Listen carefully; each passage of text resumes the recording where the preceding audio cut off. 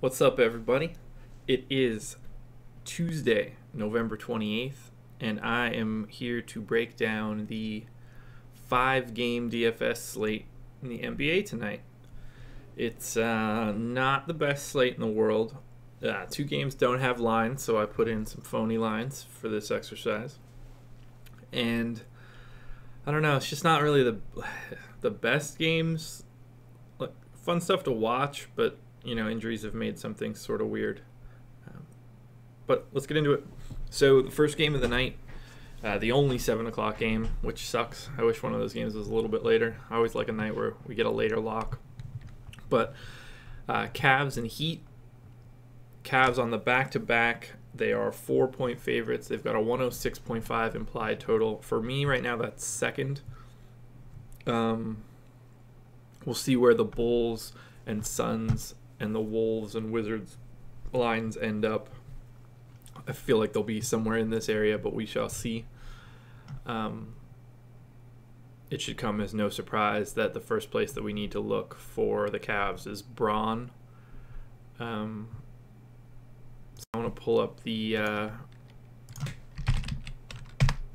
pull up the the shot profile for the Cavs. Take a look at how that matches up against the Heat. Um, I, you know, just off the top of my head, without having looked at anything, I assume that Giannis will be the chalkiest small forward play. I feel like people will get off of Bron a little bit because of the back-to-back.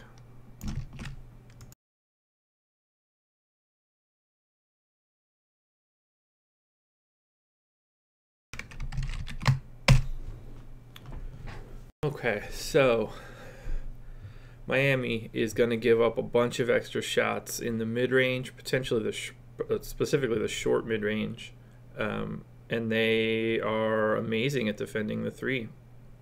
They actually give up 16% less than league average three point attempts. Man, if this wasn't the second game of a back to back, Dwyane Wade would look really good. Um, but it wouldn't shock me if he didn't even play. Although, interesting narrative with Miami coming to town. Or in Miami, that would be a different story. Ooh, um, I don't think that I like anything from the Cavs. I mean, I can end up on LeBron, obviously, but probably not and then you know like Love isn't the best fit. Microphones in the way i can't see something. You know like the amount of threes that the Cavs jack. Love doesn't spend too much time i mean 31% of his shots in the mid-range. Not bad. Um think if I were going to look at anybody, it'd probably be Kevin Love. He could, pro- he could see a lot of minutes against like Kelly Olynyk, which you know Kevin Love is just like the best version of Kelly Olynyk.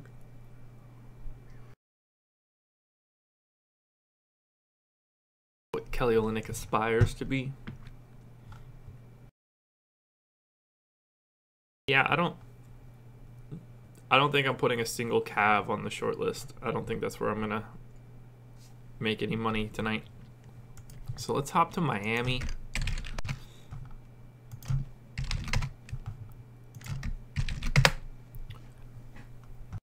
Miami is the same sort of way. I don't, there's nothing here that's interesting.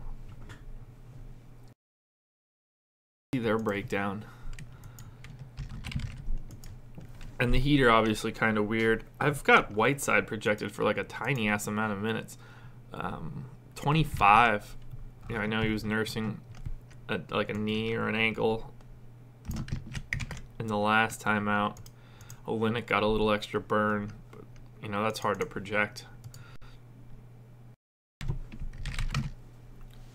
So, all right, people that shoot the three are going to be in a little bit better shape particularly corner threes. Cleveland giving up 15% more corner threes than league average.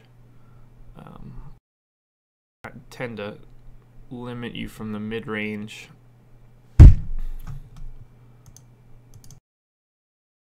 So,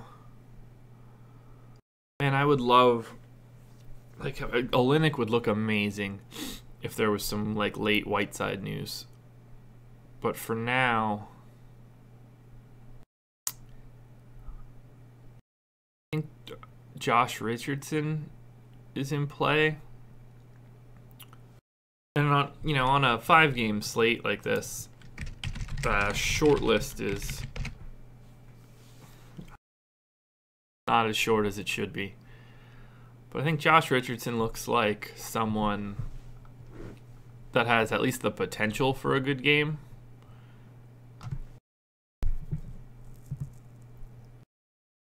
And actually, if you're looking for a, a punt ish option from salary at least, let's take a look at Wayne Ellington.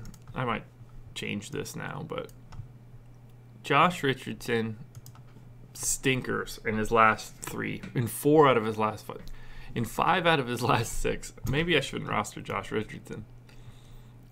He needs 21 to hit 5x, which he has done in one of the past five ga- six games. But he had seven, so six. What does he have in the last three total? 20.7. So he hasn't hit 5x if you add up his last three games,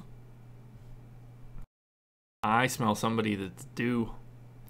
And then Wayne needs 16, nope, that's not right, 17.5 to hit value. Uh, he's been over 20 in three of his last four. He's been getting big minutes lately. Um, let's just not pay as much attention to Josh Richardson it's really hard for me to say that. Richardson. Richardson.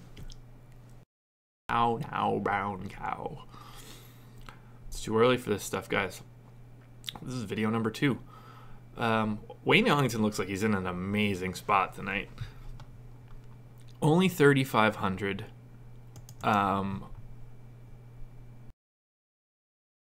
89% of his shots are from three, which fit perfectly against the Cavs if he's going to get, you know, I've got him in for 26 minutes, but, you know, he played 30 the last time out, 27 the game before that. He's in a really, really good spot. What am I missing?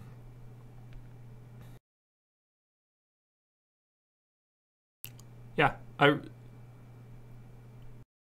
fire up Wayne Ellington. It's not even injury news. Can you imagine if like Waiters was out? Huh. Be all over Wayne. I guess that's enough about this game. I won't watch it. Bulls Suns. Um, no line on the game, probably because of Devin Booker. Uh, yeah, I figure somewhere in the hundreds. These two teams are god awful. This is going to be a tricky one. The 8 o'clock games are probably going to be the chalkiest games and I don't even know how to hash some of this out. So we'll take a look at the Suns defense first. So let's pull up the Bulls shot chart. Um,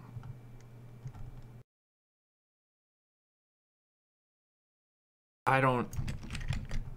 It's so hard to like map out a way that this game goes because both teams are so bad. They're so bad.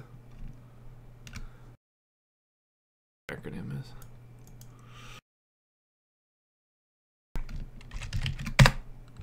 Okay, so Suns are going to limit threes and give up a bunch at the rim. Uh, I think this looks like a good spot for Robin Lopez.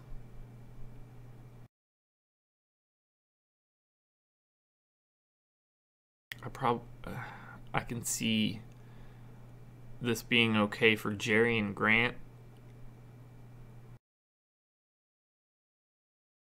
And that's probably it.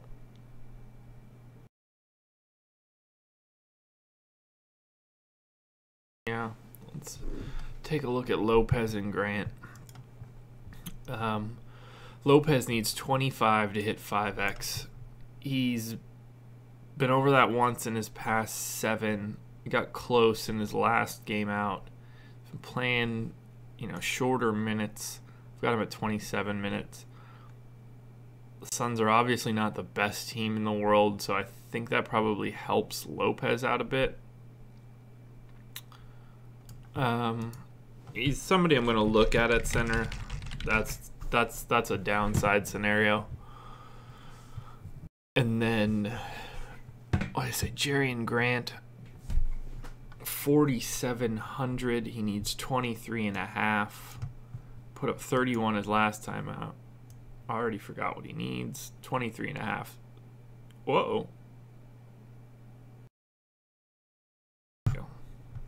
Sorry, guys. Uh, he's done it two out of his last his last two games. His minutes have picked up a little bit in that time as well. So if that continues, and I've got him at 26 minutes, I think that's a good spot. Let's take a look at Suns.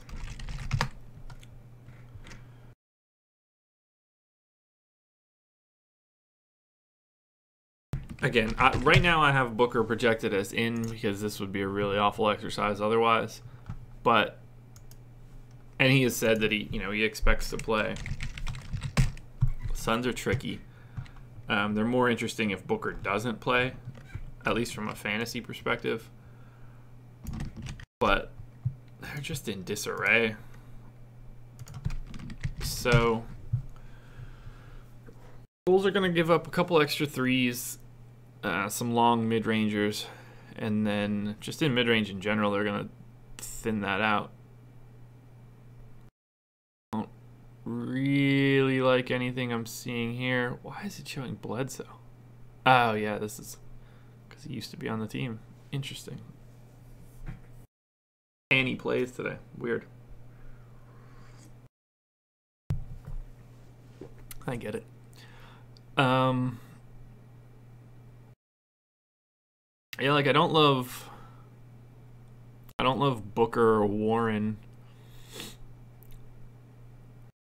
Although Booker at 71.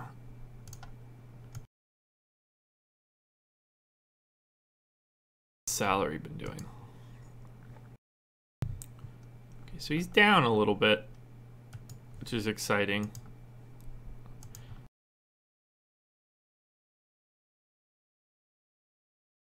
It's 35 and a half.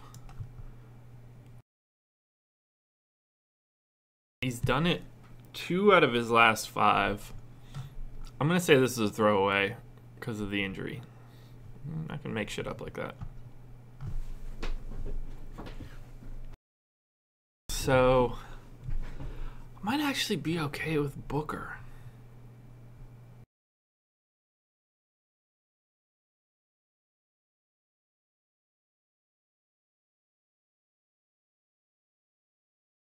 Probably it.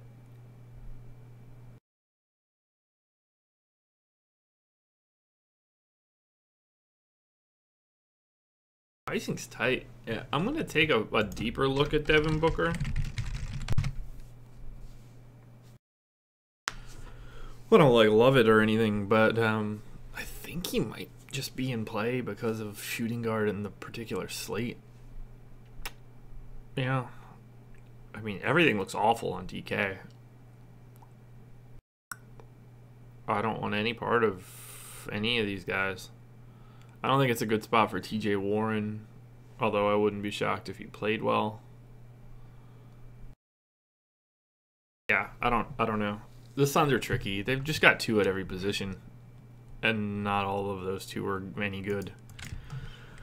Minnesota and Washington, uh, this also doesn't have a line yet. Uh, I assume that's because of Jeff Teague. Um, if Teague is out, you know, obviously we want to play uh, Tyus Jones. Um, and this is another team where th- or this is the game that's probably going to be the heaviest chalk. So let's pull up Minnesota's shot chart. I don't know why I'm calling it a shot chart. There's there's not a there's no chart anywhere. Shot table. You know, obviously Washington has uh, no John Wall, so there are some obvious things that need to happen on that end. Um, you know, the Wizards' defense just isn't particularly good. I assume that it's only going to get worse with, or they're just average, but I expect it to get a little bit worse with Wall out. Um, you know, no surprise. We're only looking at five guys here, six if uh, if Teague doesn't play, but I mean Towns should be in line for a pretty sizable game, and.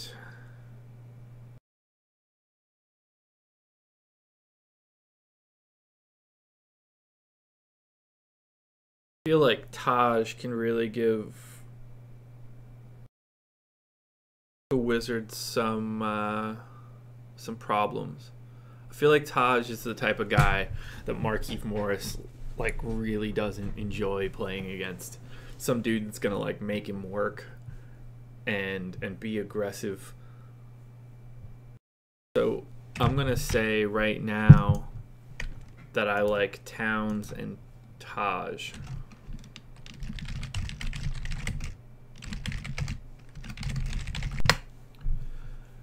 Um, Wiggins at 6,800.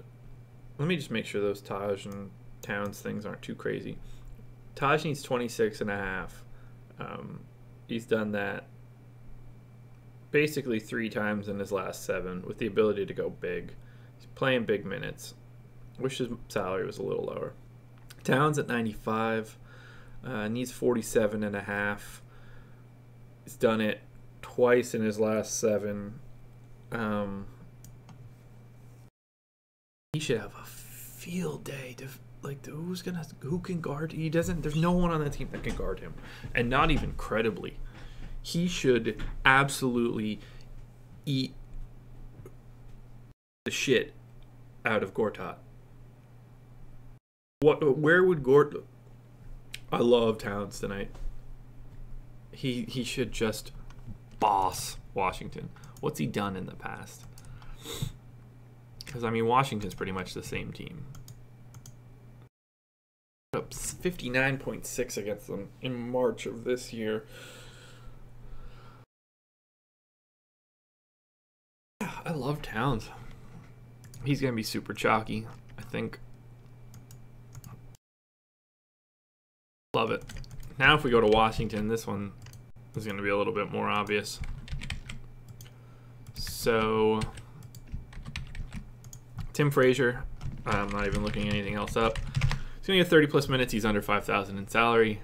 Uh, he needs 24 and a half to hit 5x. Um, he's just a value play. But uh, DK especially, fire him up.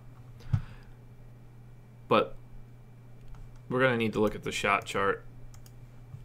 And I need to see if Beal's salary is moved. So he's at 8,300. Okay, so he's up from 7,600. $700, okay. Still in play.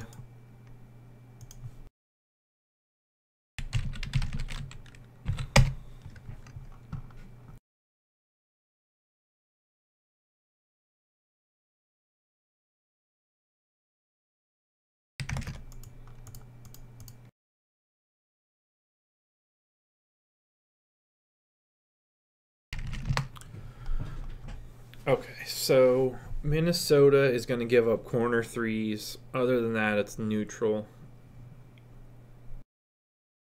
Oddly enough, that fits Markieff Morris more than anybody else.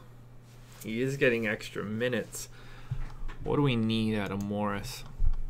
Because I wouldn't want to go, like, I wouldn't do Gibson and Morris. It's going to need to be one or the other. Um, and at basically comparable salaries. You're, you're sort of just making a pick between the two. Markieff Morris put up 19 in 30 minutes. He needs 26, which he did do in his second to last game. Done it twice in his last six. I think the minutes are going to be there. So, depending on how the rest of the lineups get built, you know, it could be a swap from one to the other. Uh, Beal, obviously, I need to look at him. Um, you know, he doesn't do the things that are of a benefit, but they don't really have anything that's like a major detriment either. God, why is that formatting not staying? Um, look, you still have to take Bradley Beal. I think his salary is going to go up a lot more than seven hundred dollars, and then I don't, you know, Otto Porter. I don't love. Gortat grades out well, but I can't imagine taking him tonight. What does he need? 24 and a half. He's done it four out of his last six. Had an off game the last time out, but put up 30 plus three in a row. What's his history against Towns look like?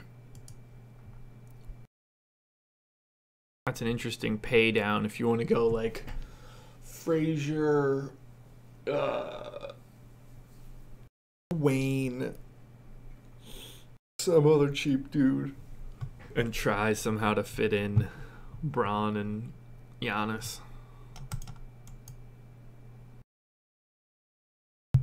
It's a hit or miss. 22 minutes in that one. fouls? No. You get hurt? laid an egg and hit his projection, so I don't know. Um, I think Gortat is worth a look. His salary fits. just a quick sidebar. Um, you know, I'm obviously making a short list, and I just put two competing power forwards against each other, two centers against each other. And they are obviously, I would imagine, the center specifically, but they're gonna be like negatively correlated. When one does well, naturally they're probably taking away opportunities from the other in it, in whatever small way possible, and you know that's okay because the key component to all of this is salary. We're not. I'm not necessarily rostering anybody because I think that today is the day that they're going to go for. I think Gortat's going to score 45 fantasy points. Like people that say stuff like that are just out of their mind. You're making plays based on a realistic set of expectations, but salary is the main component to it all. If Marcin Gortat's salary was $6,000, he's not rosterable. It has nothing to do with what you expect his performance to be tonight. It's literally just because of his salary. Salary drives everything. So I have to look at Gortat at 4,900 if that's the way the lineup fits because his most reasonable set of projections lands in a wheelhouse where more often than not I think that he has an opportunity to provide value just because of that $4,900. Um, people, I think some people forget about salary a lot because it doesn't really tie to the basketball game. It's just like an arbitrary number assigned by FanDuel or DraftKings or whoever.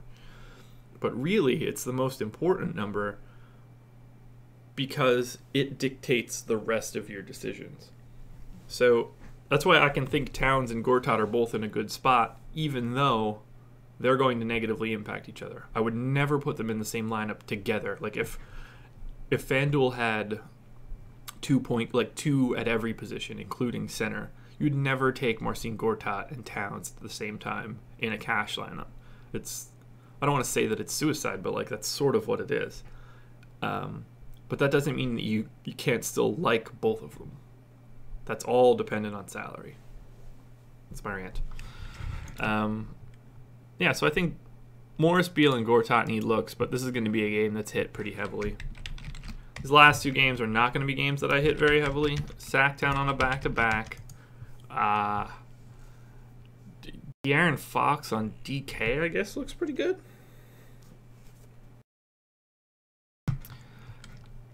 Let's take a look at the Kings.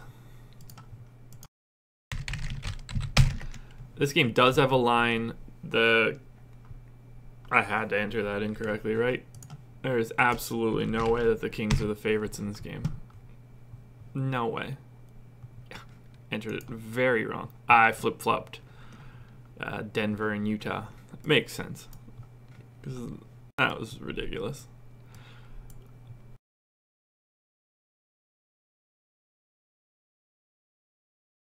So the Bucks are seven point favorites. And Utah are two point favorites against Denver. Really? Wow. There we go. That looks a little bit better.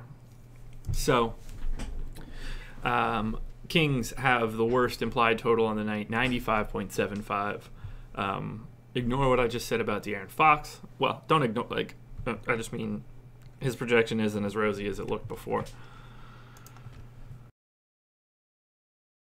I need the King's shooting table.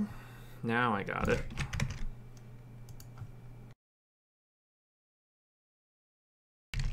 I don't anticipate having very much here.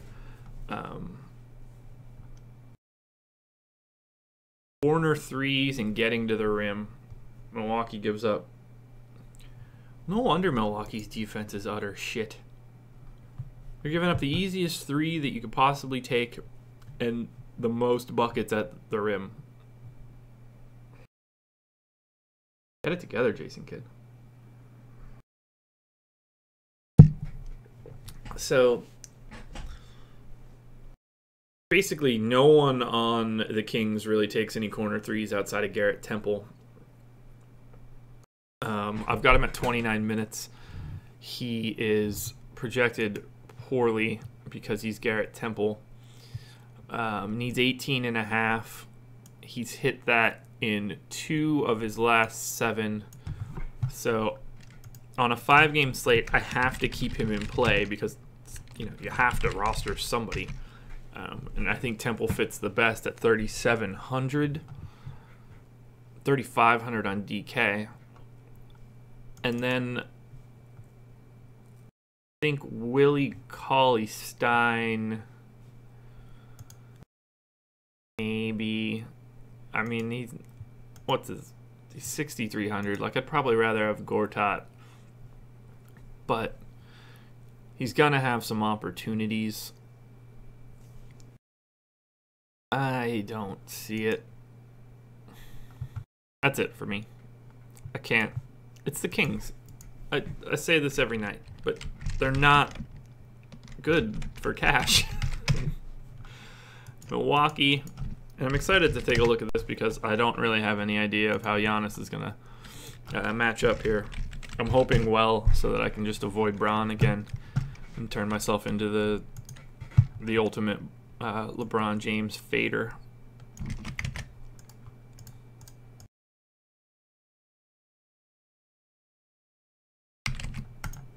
So Sacramento is going to let you bomb threes. They are 13. They're giving up 13% more attempts from three than a league average team, which is great. Um, So yeah, Giannis is uh, definitely in play. I know that people are probably seeing that. It's like, oh, there's a lot of red there. Um, that is very true. I will never be able to type that. Um, but like, it, it's only highlighting red. It, it'll highlight red uh, if this is negative at all. So like, their league average here They're basically league average here. Um,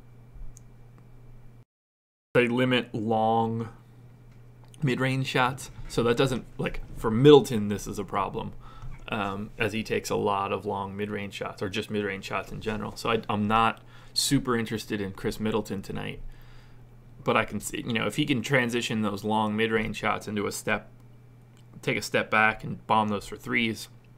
That's interesting. Um, Tony Snell.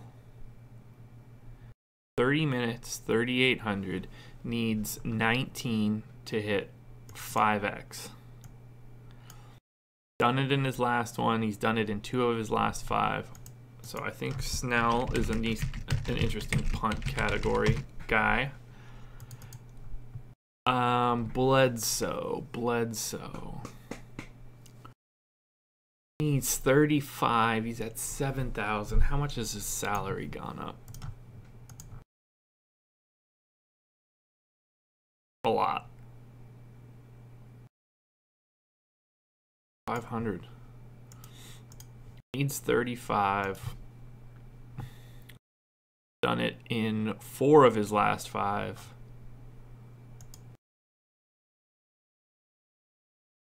I don't see any reason why he can't be in line for a really good game.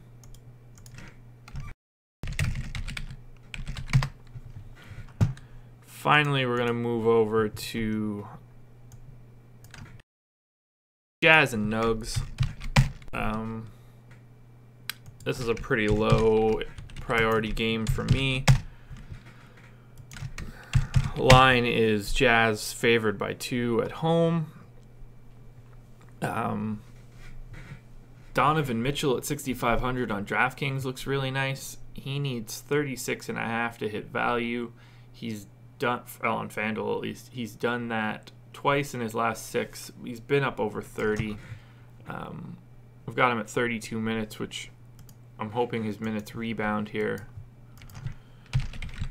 It's just, I feel bad for the Jazz. No Rudy Gobert. Like, that's just, that's not good for the league. He's such a unique player.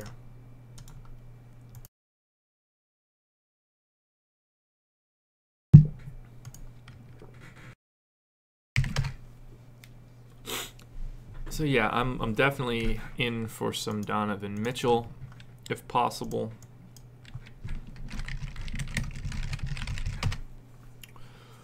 They give up a bundle of corner threes. That really fits Joe Ingles. This could be a game where Joe Ingles gets, you know, like some fluky steals, he could be in a situation where he puts up a bundle of fantasy points. Um, other than that,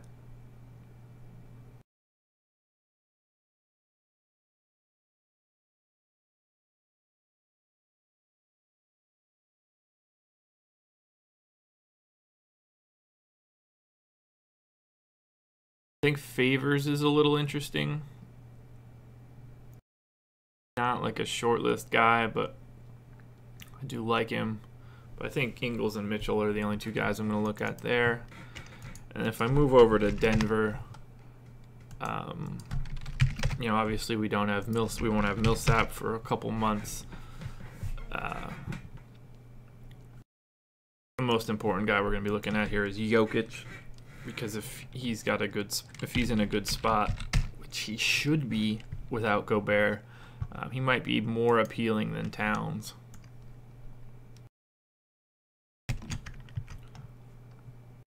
Nope, type the wrong team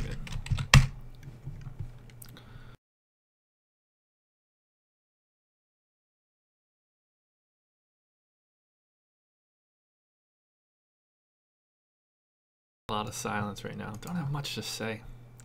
It's been a long day and a half. T talking to myself. I'm going crazy. Okay. So, Nuggets.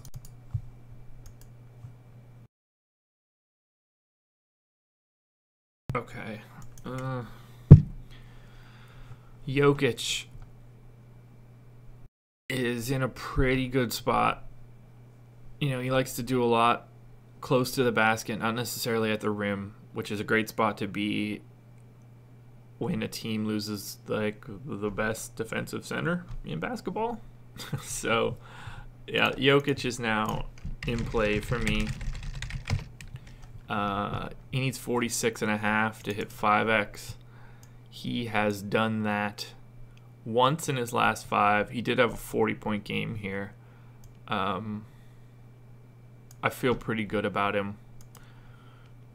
And then if we want to take a look at someone like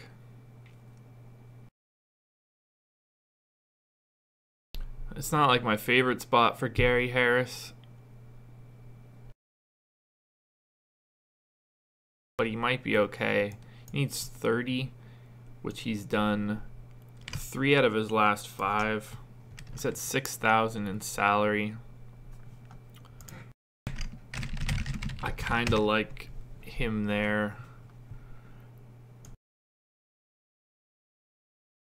I don't really see any down the line guys that jump off the page for me. Um, probably it. It's not really the best game. So that's a pretty narrow short list. Um, I will take a peek at what my uh, what my optimal looks like if I run it now.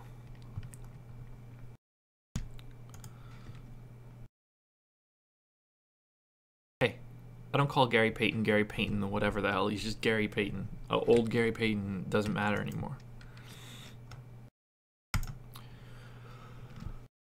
boy, that's a lot of red. Okay, so I'm okay with most of that, but I don't want Portis or Justin Holiday.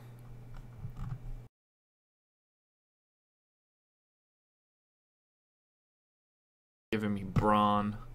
So let's grab Giannis instead.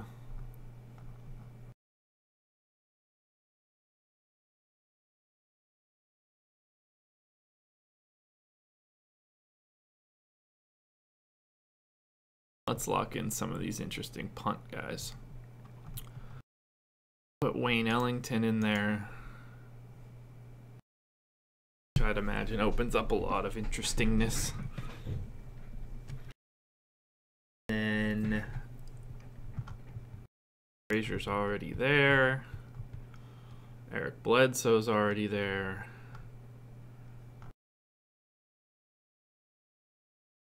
Heal in see where we end up there.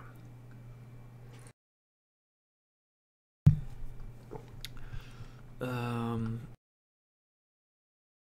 hash that out a little bit.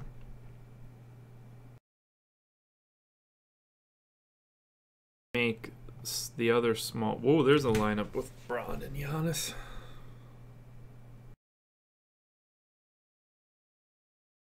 I'd rather pay up at center. Um, let's get Joe Ingles in there.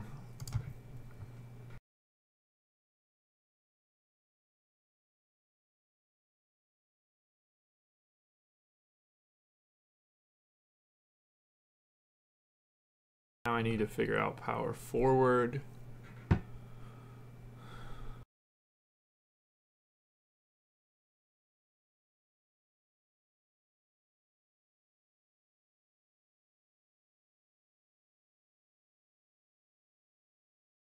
Holy shit, I don't like anybody at power forward. uh, if only Taj and Markieff were playing each other, this would be better. That might be my placeholder right now.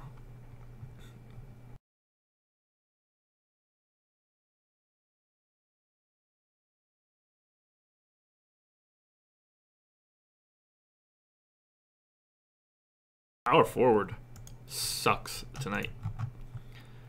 I need to. So this is going to be my big, uh, my big project for today. Figuring out who to roster at power forward. Lauri Markkanen at 6,900 is the highest salary guy. There are four centers higher than that. Gonna be interesting, folks. Um, but that's a lot of what my final lineup's going to look like if there isn't any new news. Um, figuring this quagmire out is going to be interesting. But there are two guys in here somewhere that I'm going to have to lock in and build around. Because it's, and it can't be, to me, it can't be Markieff and Taj. So, figure it out. That's all I got for today. I've been going on for way too long for a five game slate. Um, so please, if you made it to this point, please like this video. Um, subscribe if you want. Follow me on Twitter. Link to the projections is in the comments section. I showed this in the recap video, but I'd like to show uh, the people on this video as well. Um, over the middle of the night, I hit 10,000 total views, which means that I am officially being in I'm in review for monetization, which means every time I put out one of these little videos, I'll get like 40 cents of crappy ad revenue, which is fun for me because I this is just like a hobby. This is just something I want to do. It makes me pay attention more and it allows me to interact with everybody and, and get other people's ideas and thoughts and it's a medium I never thought that I would be using and now I cannot picture stopping. Um, I have a bunch of ideas for putting out other content, whether it's other fan, other DFS content, or you know just probably sports in general. It's always been something that's been interesting to me. So stuff like let's plays of you know football manager or maybe NBA 2K. Um, there aren't sorry wolverine studios i've never really enjoyed your basketball sim but maybe I'll, you know i'll look into something like that. Um, it's been a while since i've played it. I just like i i'm of the opinion that i should just do what i enjoy doing. And i'm going to do most of this crap one way or the other. So if i'm going to do it i might as well record it and throw it out there and hope that you know some people like to watch it. I know that i've gotten really into watching you know, let's plays of video games, which I never would have expected. Um, I barely watch regular television anymore. Uh, YouTube is like the TV channel of the future, or of the present, I guess. I'm probably late to the game. Um, anyway, that's enough for my rambling. Like, subscribe, follow me on Twitter, do all that cool stuff. Um, I will be back tonight at 6 for a live before lock which is probably going to be the most uneventful one that we've done, just because without any late news, this is a pretty ugly slate. So until then, um, have a good day, and I'll see you guys in uh, like 11 hours, 10 hours. Bye.